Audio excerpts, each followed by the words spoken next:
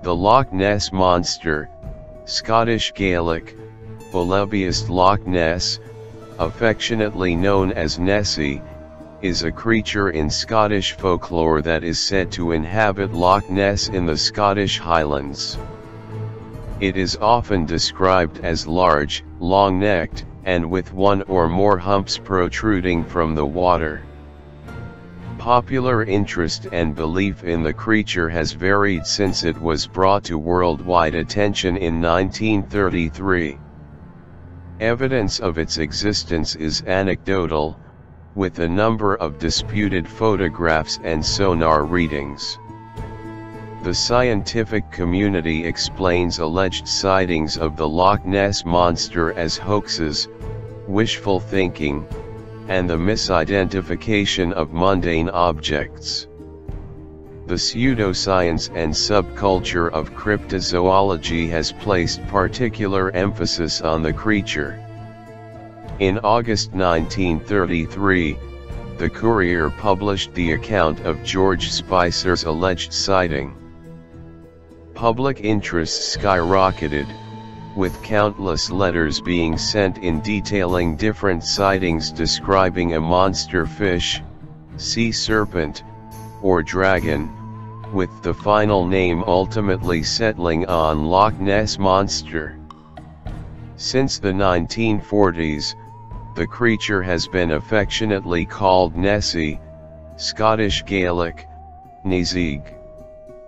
The earliest report of a monster in the vicinity of Loch Ness appears in the Life of Saint Columba by Adamnan, written in the 6th century AD. According to Adamnan, writing about a century after the events described, Irish monk Saint Columba was staying in the land of the Picts with his companions when he encountered local residents burying a man by the river Ness. They explained that the man was swimming in the river when he was attacked by a water beast that mauled him and dragged him underwater despite their attempts to rescue him by boat. Columbus sent a follower, Luigny Macumin, to swim across the river. The beast approached him, but Columba made the sign of the cross and said, Go no further. Do not touch the man. Go back at once. The creature stopped as if it had been pulled back with ropes and fled, and Columba's men and the Picts gave thanks for what they perceived as a miracle. Believers in the monster point to this story, set in the river Ness rather than the loch itself, as evidence for the creature's existence as early as the 6th century. Skeptics question the narrative's reliability, noting that water beast stories were extremely common in medieval hagiographies, and Adamnan's tale probably recycles a common motif attached to a local landmark. According to skeptics, Adamnan's story may be independent of the modern Loch Ness Monster legend and became attached to it by believers seeking to bolster their claims. Ronald Binns considers that this is the most serious of various alleged early sightings of the monster, but all other claimed sightings before 1933 are dubious and do not prove a monster tradition before that date. Christopher Kearney uses a specific historical and cultural analysis of Adamnan to separate Adamnan's story about Saint Columba from the modern myth of the Loch Ness Monster, but finds an earlier and culturally significant use of Celtic water beast folklore along the way. In doing so he also discredits any strong connection between kelpies or water horses and the modern media-augmented creation of the Loch Ness Monster. He also concludes that the story of Saint Columba may have been impacted by earlier Irish myths about the Caoranach and an Oilliphéist. In October 1871, or 1872, D. Mackenzie of Balnain reportedly saw an object resembling a log or an upturned boat wriggling and churning up the water, moving slowly at first before disappearing at a faster speed. The account was not published until 1934, when Mackenzie sent his story in a letter to Rupert Gould shortly after popular interest in the monster increased. In 1888, Mason Alexander MacDonald of Abriachan sighted a large stubby-legged animal surfacing from the loch and propelling itself within 50 yards of the shore where MacDonald stood. MacDonald reported his sighting to Loch Ness water bailiff Alex Campbell, and described the creature as looking like a salamander. The best known article that first attracted a great deal of attention about a creature was published on May 2, 1933 in the Inverness Courier, about a large beast or whale-like fish. The article by Alex Campbell, water bailiff for Loch Ness and a part-time journalist discussed a sighting by Aldie McKay of an enormous creature with the body of a whale rolling in the water in the loch while she and her husband John were driving on the A82 on April 15, 1933. The word monster was reportedly applied for the first time in Campbell's article, although some reports claim that it was coined by editor Evan Barron. The Courier in 2017 published excerpts from the Campbell article, which had been titled Strange Spectacle in Loch Ness. The creature DISP orted itself, rolling and plunging for fully a minute, its body resembling that of a whale, and the water cascading and churning like a simmering cauldron. Soon, however, it disappeared in a boiling mass of foam. Both onlookers confessed that there was something uncanny about the whole thing, for they realized that here was no ordinary denizen of the depths, because, apart from its enormous size, the beast, in taking the final plunge, sent out waves that were big enough to have been caused by a passing steamer. According to a 2013 article, McKay said that she had yelled, Stop! The beast, when viewing the spectacle. In the late 1980s, a naturalist interviewed Aldie McKay and she admitted to knowing that there had been an oral tradition of a beast in the loch well before her claimed sighting. Alex Campbell's 1933 article also stated that Loch Ness has for generations been credited with being the home of a fearsome-looking monster. Modern interest in the monster was sparked by a sighting on July 22, 1933, when George Spicer and his wife saw a most extraordinary form of animal cross the road in front of their car. They described the creature as having a large body, about 4 feet, 1.2 m, high and 25 feet, 8 m, long, and a long, wavy, narrow neck, slightly thicker than an elephant's trunk and as long as the 10, 12 foot, 3 to 4 m, width of the road.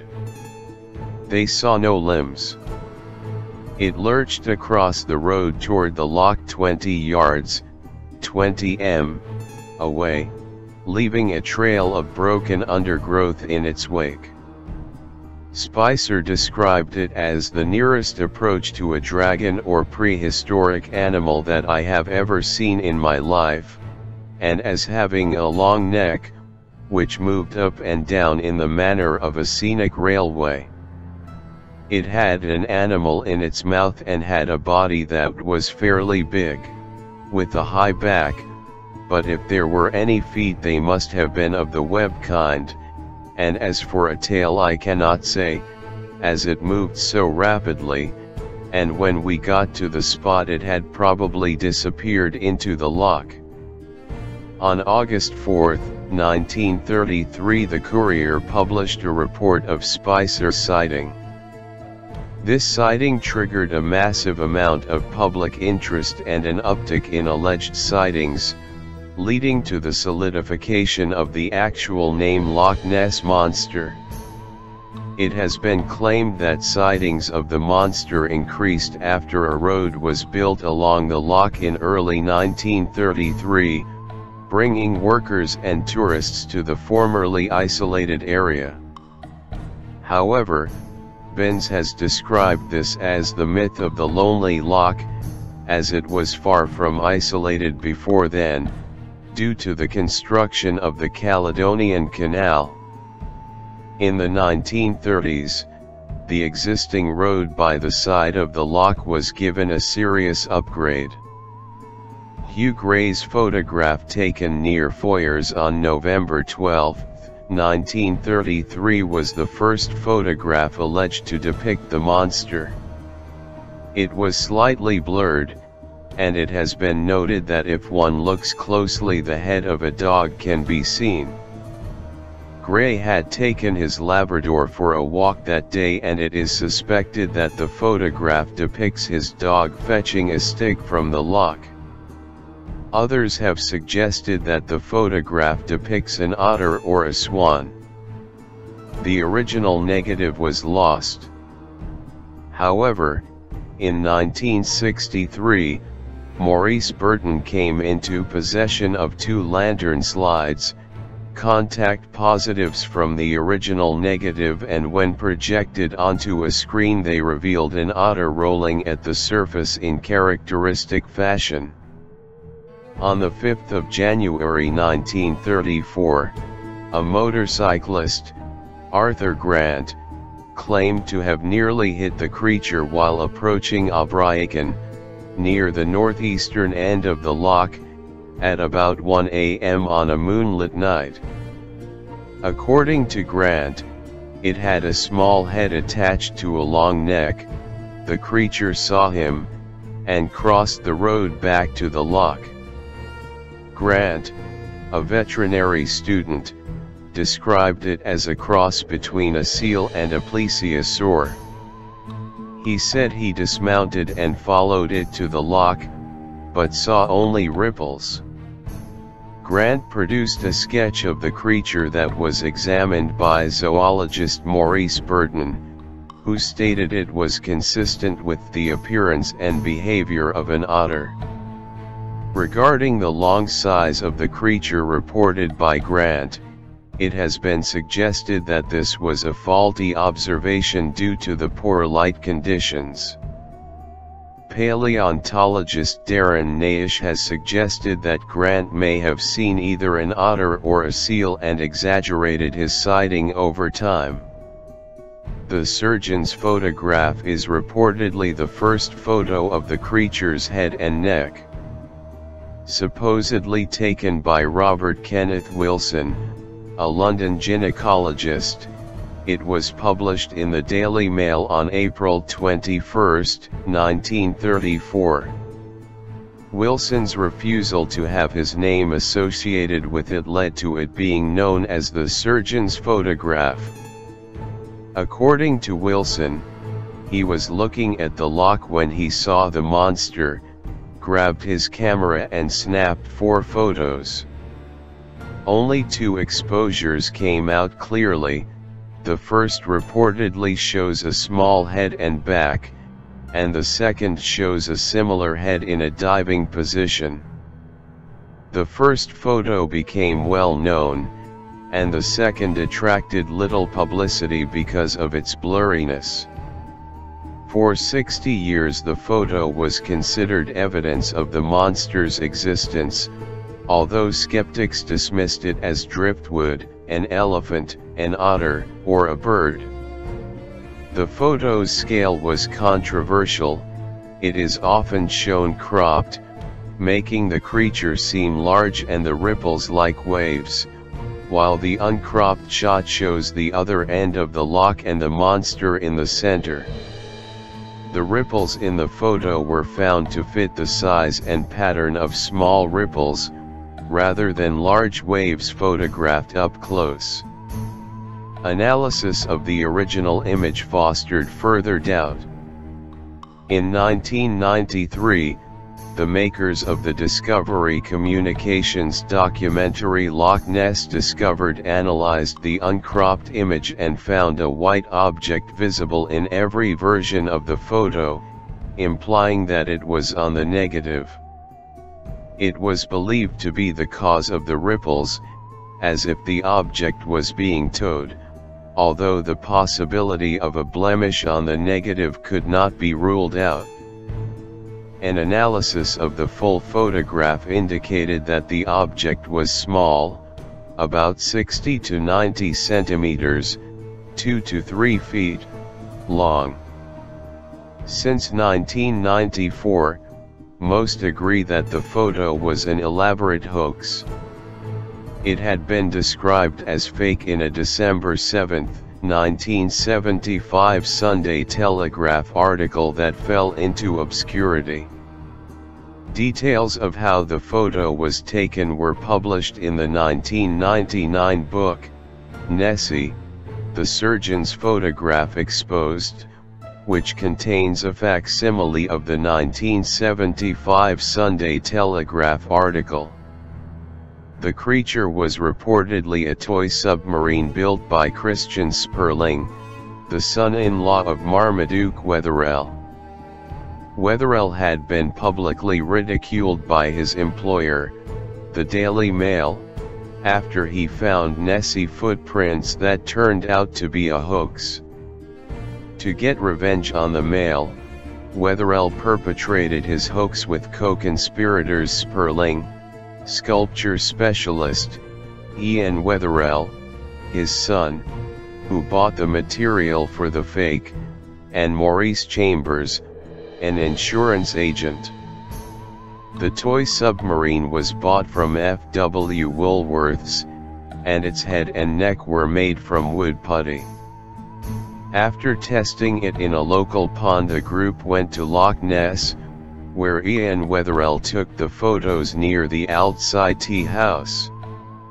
When they heard a water bailiff approaching, Duke Wetherell sank the model with his foot and it is presumably still somewhere in Loch Ness. Chambers gave the photographic plates to Wilson, a friend of his who enjoyed a good practical joke.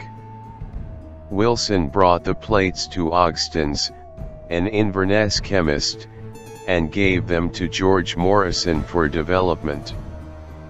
He sold the first photo to the Daily Mail, who then announced that the monster had been photographed. Little is known of the second photo, it is often ignored by researchers, who believe its quality too poor and its differences from the first photo too great to warrant analysis. It shows a head similar to the first photo, with a more turbulent wave pattern, and possibly taken at a different time and location in the loch. Some believe it to be an earlier, cruder attempt at a hoax, and others, including Roy Mackal and Maurice Burton, consider it a picture of a diving bird or otter that Wilson mistook for the monster. According to Morrison, when the plates were developed, Wilson was uninterested in the second photo, he allowed Morrison to keep the negative, and the photo was rediscovered years later. When asked about the second photo by the Ness Information Service newsletter, Sperling, was vague, thought it might have been a piece of wood they were trying out as a monster, but was not sure.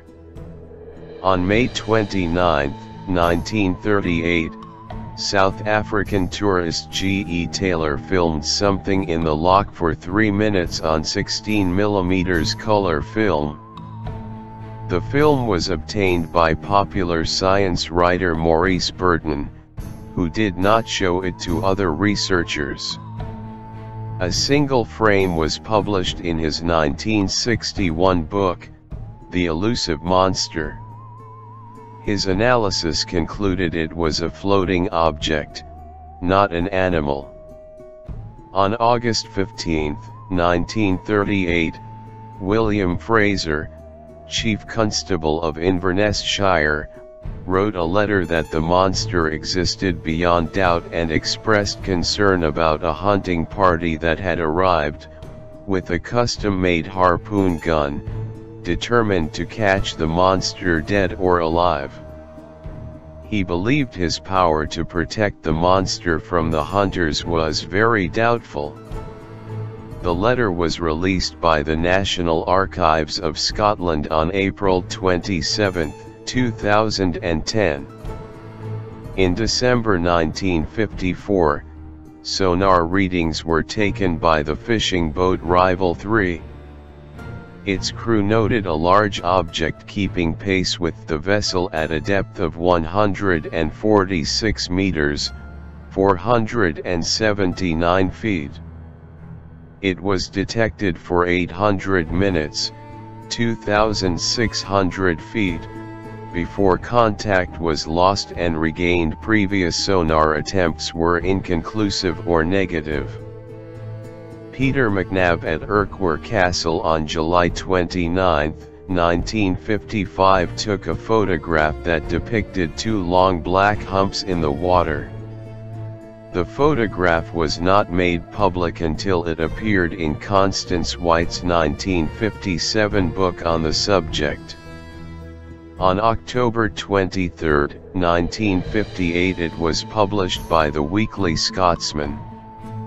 Author Ronald Binns wrote that the phenomenon which McNab photographed could easily be a wave effect resulting from three trawlers traveling closely together up the loch. Other researchers consider the photograph a hoax. Roy Mackal requested to use the photograph in his 1976 book. He received the original negative from McNab, but discovered it differed from the photograph that appeared in White's book. The tree at the bottom left in White's was missing from the negative. It is suspected that the photograph was doctored by rephotographing a print. Aeronautical engineer Tim Dinsdale filmed a hump that left a wake crossing Loch Ness in 1960. Dinsdale, who reportedly had the sighting on his final day of search, described it as reddish with a blotch on its side. He said that when he mounted his camera the object began to move, and he shot 40 feet of film. According to JARIC, the object was probably animate. Others were skeptical, saying that the hump cannot be ruled out as being a boat and when the contrast is increased, a man in a boat can be seen. In 1993 Discovery Communications produced a documentary, Loch Ness Discovered, with a digital enhancement of the Dinsdale film. A person who enhanced the film noticed a shadow in the negative that was not obvious in the developed film. By enhancing and overlaying frames, he found what appeared to be the rear body of a creature underwater. Before I saw the film, I thought the Loch Ness Monster was a load of rubbish. Having done the enhancement, I'm not so sure. On May 21, 1977 Anthony Doc Shiels, camping next to Urquhart Castle, took some of the clearest pictures of the monster until this day. Shiels, a magician, and psychic, claimed to have summoned the animal out of the water. He later described it as an elephant squid claiming the long neck shown in the photograph is actually the squid's trunk and that a white spot at the base of the neck is its eye. Due to the lack of ripples, it has been declared a hoax by a number of people and received its name because of its staged look. On May 26, 2007, 55-year-old laboratory technician Gordon Holmes videotaped what he said was this jet black thing, about 14 meters, 46 feet, long, moving fairly fast in the water. Adrian Shine, a marine biologist at the Loch Ness 2000 Centre in Drumnadrochit, described the footage as among the best footage he had ever seen. BBC Scotland broadcast the video on May 29, 2007. STV News North Tonight aired the footage on May 28, 2007 and interviewed Holmes. Shine was also interviewed, and suggested that the footage was an otter, seal, or water bird. On August 24, 2011 Loch Ness boat captain Marcus Atkinson photographed a sonar image of a 1.5 meter wide, 4.9 feet, unidentified object that seemed to follow his boat for 2 minutes at a depth of 23 meters 75 feet, and ruled out the possibility of a small fish or seal. In April 2012, a scientist from the National Oceanography Center said that the image is a bloom of algae and zooplankton. On August 3, 2012, skipper George Edwards claimed that a photo he took on November 2, 2011 shows Nessie. Edwards claims to have searched for the monster for 26 years, and reportedly spent 60 hours per week on the loch aboard his boat, Nessie Hunter 4, taking tourists for rides on the Lake 65 Edwards said, in my opinion, it probably looks kind of like a manatee, but not a mammal. When people see three humps, they're probably just seeing three separate monsters. Other researchers have questioned the photograph's authenticity, and Loch Ness researcher Steve Feltham suggested that the object in the water is a fiberglass hump used in a National Geographic Channel documentary in which Edwards had participated. Researcher Dick Rayner has questioned Edwards' claim of discovering a deeper bottom of Loch Ness, which Rayner calls Edwards Deep. He found inconsistencies between Edwards' claims for the location and conditions of the photograph and the actual location and weather conditions that day.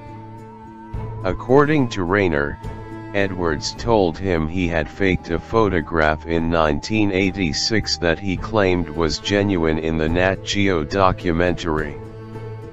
Although Edwards admitted in October 2013 that his 2011 photograph was a hoax, he insisted that the 1986 photograph was genuine.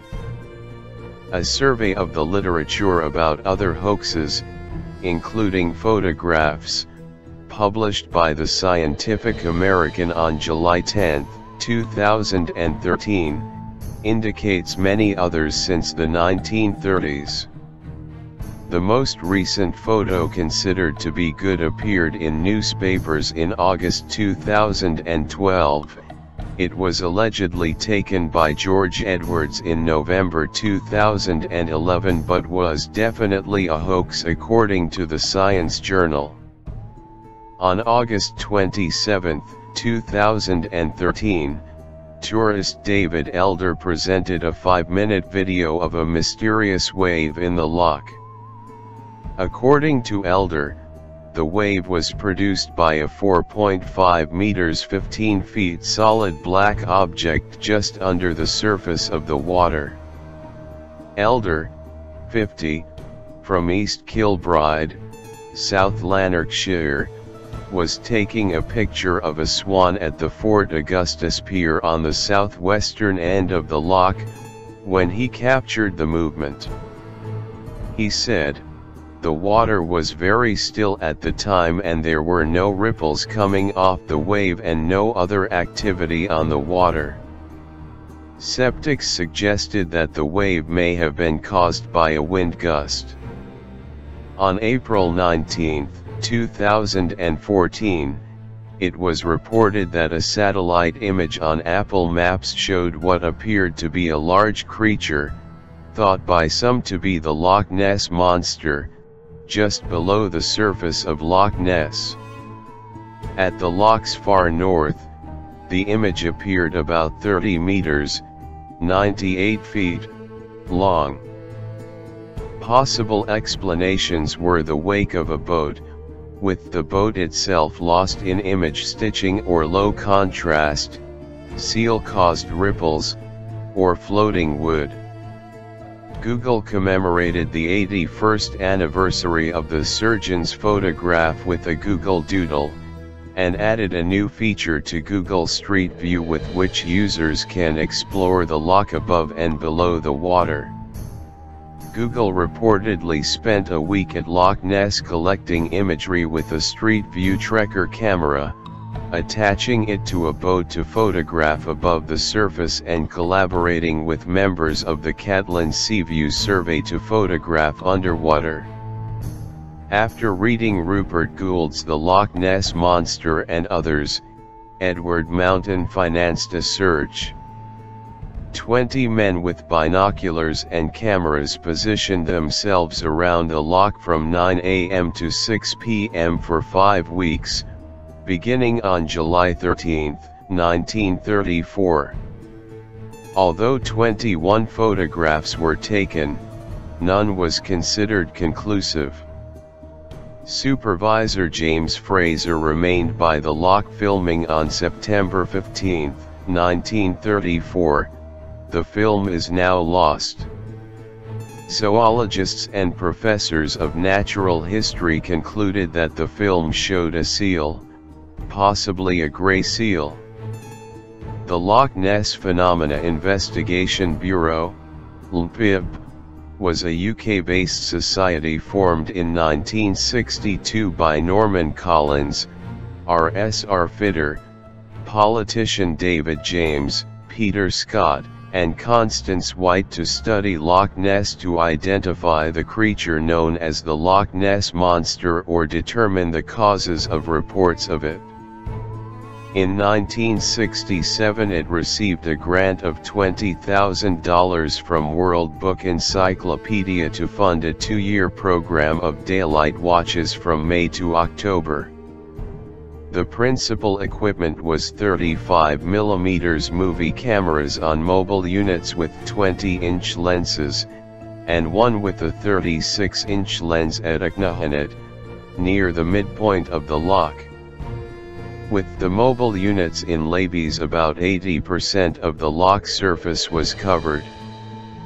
The Society's name was later shortened to the Loch Ness Investigation Bureau, LNIB, and it disbanded in 1972.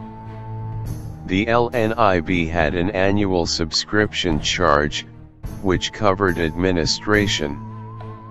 Its main activity was encouraging groups of self-funded volunteers to watch the loch from vantage points with film cameras with telescopic lenses. From 1965 to 1972 it had a caravan camp and viewing platform at Achnahanet, and sent observers to other locations up and down the loch.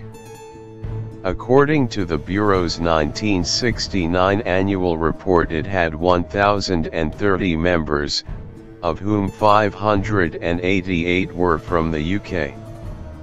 D. Gordon Tucker, chair of the Department of Electronic and Electrical Engineering at the University of Birmingham, volunteered his services as a sonar developer and expert at Loch Ness in 1968. His gesture, part of a larger effort led by the LNPIB from 1967 to 1968, involved collaboration between volunteers and professionals in a number of fields. Tucker had chosen Loch Ness as the test site for a prototype sonar transducer with a maximum range of 800 meters 2,600 feet. The device was fixed underwater at Temple Pier in Urquhart Bay and directed at the opposite shore, drawing an acoustic net across the loch through which no moving object could pass undetected. During the two-week trial in August, multiple targets were identified. One was probably a shoal of fish, but others moved in a way not typical of shoals at speeds up to 10 knots. In 1972, a group of researchers from the Academy of Applied Science led by Robert H. Rines conducted a search for the monster involving sonar examination of the loch depths for unusual activity. Rines took precautions to avoid murky water with floating wood and peat citation needed a submersible camera with a floodlight was deployed to record images below the surface. If Rines detected anything on the sonar, he turned the light on and took pictures. On August 8, Rines Raytheon DE 725C sonar unit, operating at a frequency of 200 kHz and anchored at a depth of 11 meters, 36 feet, identified a moving target, or targets, estimated by echo strength at 6 to 9 meters, 20 to 30 feet, in length.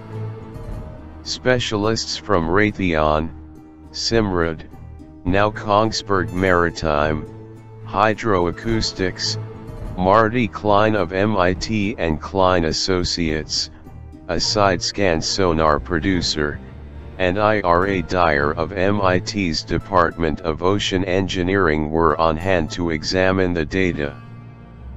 P. Skitzki of Raytheon suggested that the data indicated a 3 meter, 10 feet, protuberance projecting from one of the echoes. According to author Roy Mackal, the shape was a highly flexible laterally flattened tail or the misinterpreted return from two animals swimming together. Concurrent with the sonar readings, the floodlit camera obtained a pair of underwater photographs. Both depicted what appeared to be a rhomboid flipper, although septics have dismissed the images as depicting the bottom of the loch, air bubbles, a rock, or a fish fin. The apparent flipper was photographed in different positions, indicating movement. The first flipper photo is better known than the second, and both were enhanced and retouched from the original negatives. According to team member Charles Wyckoff, the photos were retouched to superimpose the flipper, the original enhancement showed a considerably less distinct object. No one is sure how the originals were altered. During a meeting with Tony Harmsworth and Adrian Shine at the Loch Ness Center and exhibition, Rines admitted that the flipper photo may have been retouched by a magazine editor. British naturalist Peter Scott announced in 1975, on the basis of the photographs, that the creature's scientific name would be Nessiteras rhombopteryx, Greek for Ness inhabitant with diamond-shaped fin. Scott intended that the name would enable the creature to be added to the British Register of Protected Wildlife. Scottish politician Nicholas Fairbairn called the name an anagram for monster hoax by Sir Peter S. However, Rines countered that when rearranged, the letters could also spell yes, both pigs are monsters, are. Another sonar contact was made, this time with two objects estimated to be about 9 meters, 30 feet. The strobe camera photographed two large objects surrounded by a flurry of bubbles. Some interpreted the objects as two plesiosaur-like animals, suggesting several large animals living in Loch Ness. This photograph has rarely been published. A second search was conducted by Rines in 1975. Some of the photographs, despite their obviously murky quality and lack of concurrent sonar readings, did indeed seem to show unknown animals in various positions and lightings. One photograph appeared to show the head, neck, and upper torso of a plesiosaur-like animal, but skeptics argue the object is a log due to the lump on its chest area, the mass of sediment in the full photo, and the object's log-like skin texture. Another photograph seemed to depict a horned gargoyle head, consistent with that of some sightings of the monster, however, skeptics point out that a tree stump was later filmed during Operation Deep Scan in 1987, which bore a striking resemblance to the gargoyle head. In 2001, Rines Academy of Applied Science videotaped a V-shaped wake traversing still water on a calm day. The Academy also videotaped an object on the floor of the loch resembling a carcass and found marine clamshells and a fungus-like organism not normally found in freshwater lochs, a suggested connection to the sea and a possible entry for the creature. In 2008, Rines theorized that the creature may have become extinct, citing the lack of significant sonar readings and a decline in eyewitness accounts. He undertook a final expedition, using sonar, and an underwater camera in an attempt to find a carcass. Rines believed that the animals may have failed to adapt to temperature changes resulting from global warming. Operation Deep Scan was conducted in 1987. 24 boats equipped with echo sounding equipment were deployed across the width of the loch, and simultaneously sent acoustic waves. According to BBC News the scientists had made sonar contact with an unidentified object of unusual size and strength. The researchers returned, rescanning the area. Analysis of the echo sounder images seemed to indicate debris at the bottom of the loch, although there was motion in three of the pictures. Adrian Shine speculated, based on size, that they might be seals that had entered the loch. Sonar expert Darrell Lowrance, founder of Lowrance Electronics, donated a number of echo sounder units used in the operation. After examining a sonar return indicating a large, moving object at a depth of 180 meters, 590 feet, near Urquhart Bay, Lowrance said, there's something here that we don't understand, and there's something here that's larger than a fish, maybe some species that hasn't been detected before. I don't know. In 2003, the BBC sponsored a search of the loch using 600 sonar beams and satellite tracking. The search had sufficient resolution to identify a small buoy. No animal of substantial size was found and, despite their reported hopes, the scientists involved admitted that this proved the Loch Ness Monster was a myth. Searching for the Loch Ness Monster aired on BBC One. An international team consisting of researchers from the universities of Otago, Copenhagen, Hull, and the Highlands and Islands, did a DNA survey of the lake in June 2018, looking for unusual species. The results were published in 2019, no DNA of large fish such as sharks, sturgeons, and catfish could be found. No otter or seal DNA were obtained either, though there was a lot of eel DNA. The leader of the study, Professor Neil Gemmell of the University of Otago, said he could not rule out the possibility of eels of extreme size, though none were found, nor were any ever caught. The other possibility is that the large amount of eel DNA simply comes from many small eels. No evidence of any reptilian sequences were found, he added, so I think we can be fairly sure that there is probably not a giant scaly reptile swimming around in Loch Ness, he said. A number of explanations have been suggested to account for sightings of the creature. According to Ronald Binns, a former member of the Loch Ness Phenomena Investigation Bureau, there is probably no single explanation of the monster. Binns wrote two sceptical books, the 1983 The Loch Ness Mystery Solved, and his 2017 The Loch Ness Mystery Reloaded. In these he contends that an aspect of human psychology is the ability of the eye to see what it wants, and expects, to see.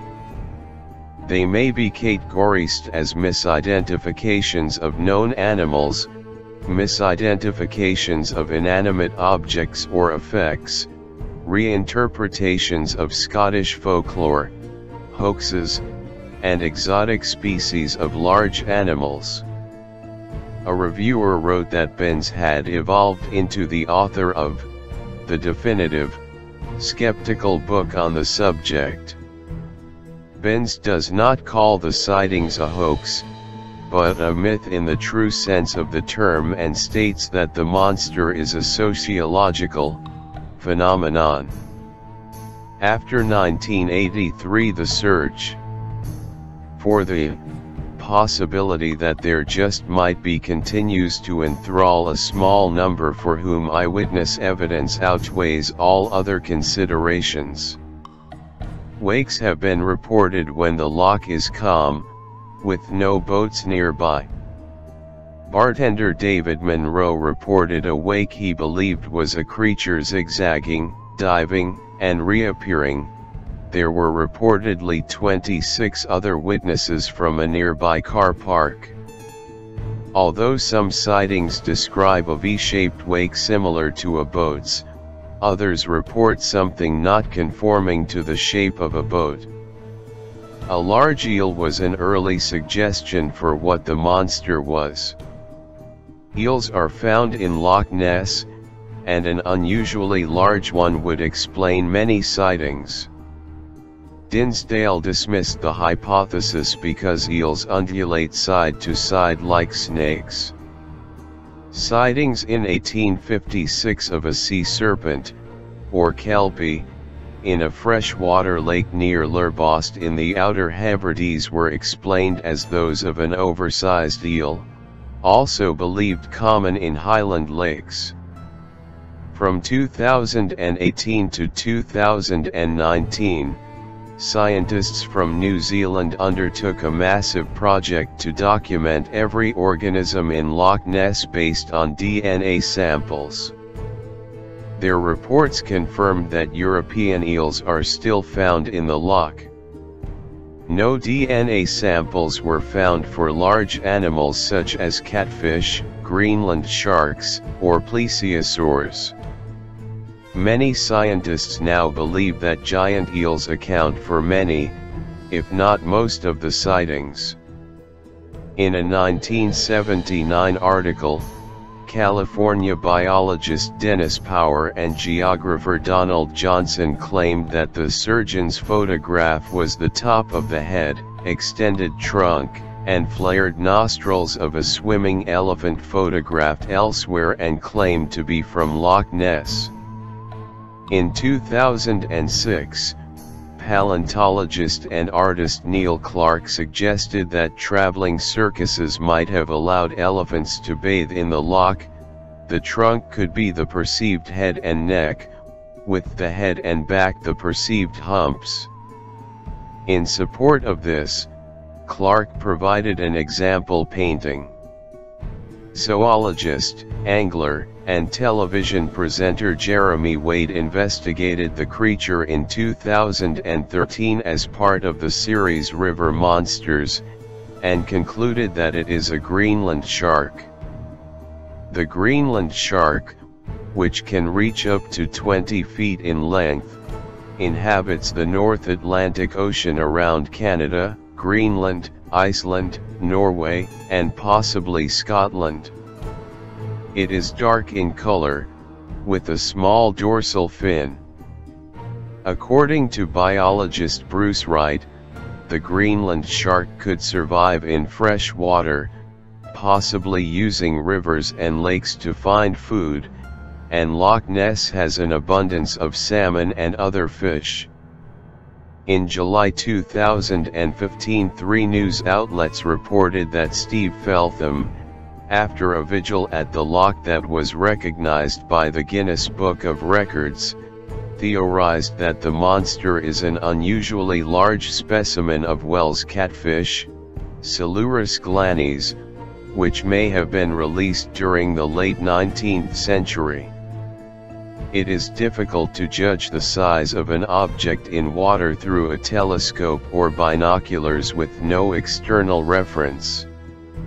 Loch Ness has resident otters, and photos of them and deer swimming in the loch, which were cited by author Ronald Binns may have been misinterpreted. According to Binns, birds may be mistaken for a head and neck sighting. In 1933, the Daily Mirror published a picture with the caption, This queerly shaped tree trunk, washed ashore at Foyers on Loch Ness may, it is thought, be responsible for the reported appearance of a monster. In a 1982 series of articles for New Scientist, Maurice Burton proposed that sightings of Nessie and similar creatures may be fermenting Scots pine logs rising to the surface of the loch. A decomposing log could not initially release gases caused by decay because of its high resin level. Gas pressure would eventually rupture a resin seal at one end of the log, propelling it through the water, sometimes to the surface.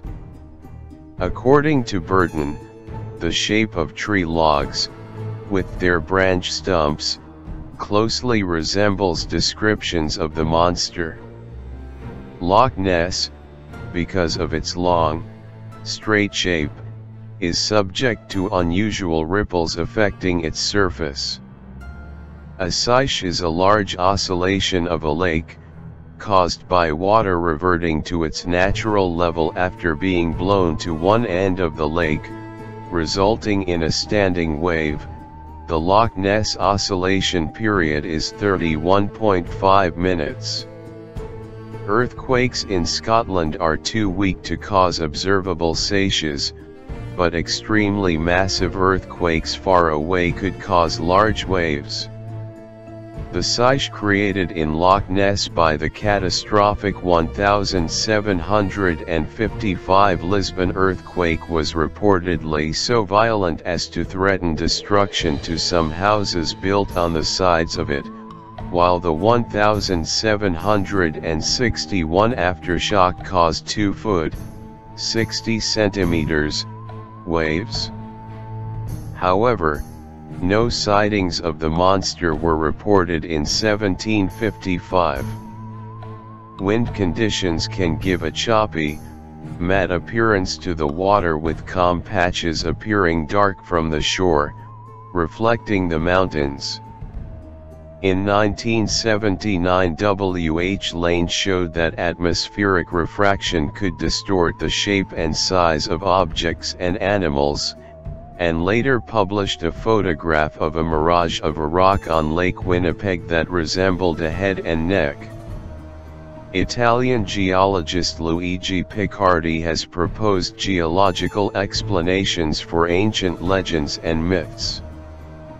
Piccardi noted that in the earliest recorded sighting of a creature, the life of Saint Columba, the creature's emergence was accompanied cum ingenti fremitude, with loud roaring. The Loch Ness is along the Great Glen Fault, and this could be a description of an earthquake. Many reports consist only of a large disturbance on the surface of the water, this could be a release of gas through the fault, although it may be mistaken for something swimming below the surface. In 1980 Swedish naturalist and author Bengt Sjögren wrote that present beliefs in lake monsters such as the Loch Ness Monster are associated with Kelpie legends. According to Sjögren, accounts of loch monsters have changed over time, originally describing horse-like creatures, they were intended to keep children away from the loch. Sjögren wrote that the Kelpie legends have developed into descriptions reflecting a modern awareness of plesiosaurs.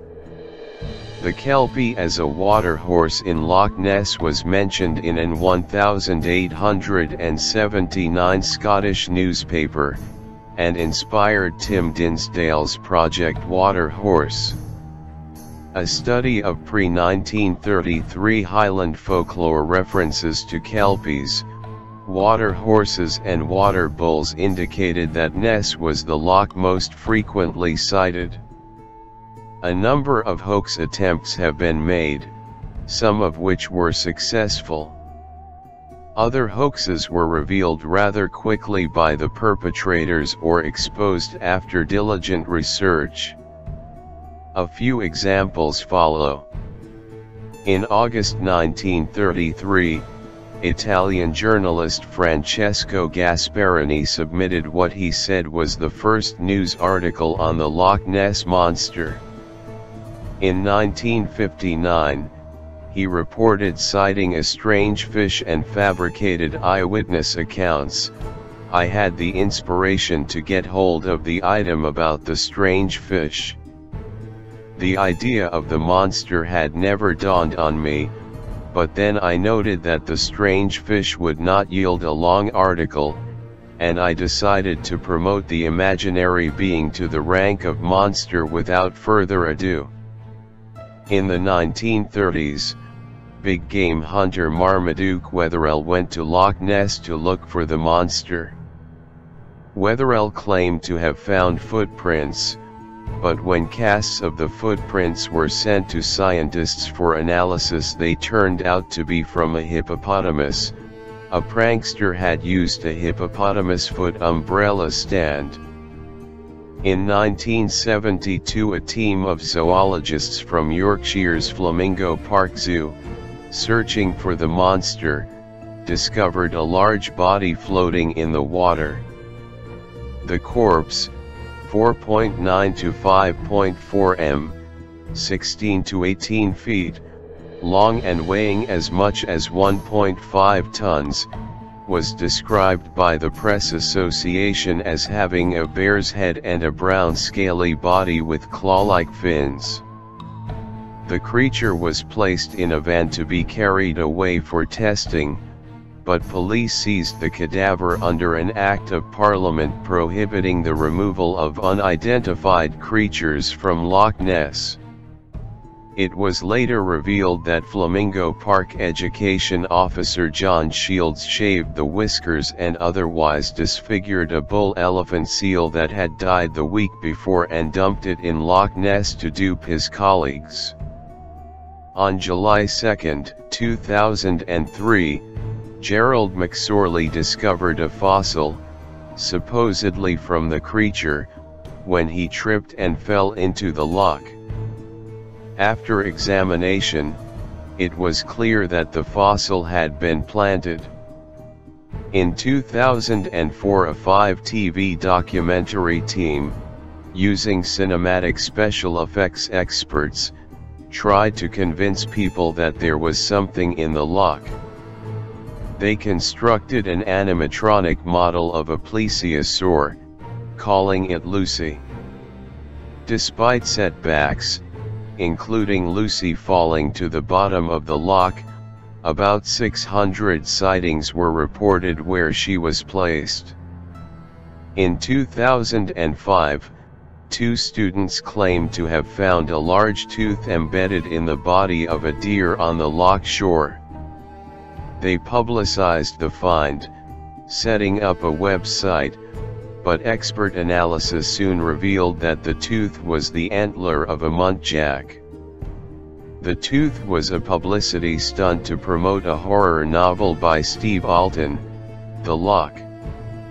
In 1933 it was suggested that the creature bears a striking resemblance to the supposedly extinct plesiosaur, a long-necked aquatic reptile that became extinct during the Cretaceous, Paleogene extinction event. A popular explanation at the time, the following arguments have been made against it. In an October 2006 New Scientist article, Why the Loch Ness Monster is no plesiosaur, Leslie Noe of the Sedgwick Museum in Cambridge said, the osteology of the neck makes it absolutely certain that the plesiosaur could not lift its head up swan-like out of the water. The loch is only about 10,000 years old, dating to the end of the last ice age. Before then, it was frozen for about 20,000 years. If creatures similar to plesiosaurs lived in Loch Ness they would be seen frequently, since they would have to surface several times a day to breathe 108. In response to these criticisms, Tim Dinsdale, Peter Scott, and Roy Mackal postulate a trapped marine creature that evolved from a plesiosaur directly or by convergent evolution. Robert Rines explained that the horns in some sightings function as breathing tubes, or nostrils, allowing it to breathe without breaking the surface. Also new discoveries have shown that plesiosaurs had the ability to swim in fresh waters, but the cold temperatures would make it hard for it to live. The loch being 10,000 years old does have criticism. On the show Monster Quest in a season 3 episode, Discoveries of a shell that was thought to have been brought up by a seal had been examined to be perfectly intact, and over 10,000 years old suggesting that the loch had connected to the sea allowing marine life, possibly a plesiosaur end up in the lake. There are also theories that the monster or monsters migrate up the River Ness Canal which is used for boats, as the River Ness becomes extremely shallow at points. Another migration route would be through the Fort Augustus Canal which leads to Loch Lochy which can explain why a similar monster called Lizzie has been sighted. R.T. Gould suggested a long-necked newt. Roy Mackal examined the possibility, giving it the highest score, 88%, on his list of possible candidates. In 1968 F.W. Holliday proposed that Nessie and other lake monsters, such as Morag, may be a large invertebrate such as a bristle worm, he cited the extinct Tullimonstrum as an example of the shape. According to Holliday, this explains the land sightings and the variable back shape, he likened it to the medieval description of dragons as worms. Although this theory was considered by Mackal, he found it less convincing than eels, amphibians, or plesiosaurs.